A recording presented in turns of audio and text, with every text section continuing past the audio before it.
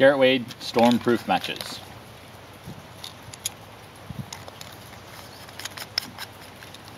Here's a puddle. Give it a good soak. Still lights. And then even get it wet. And then it'll light again.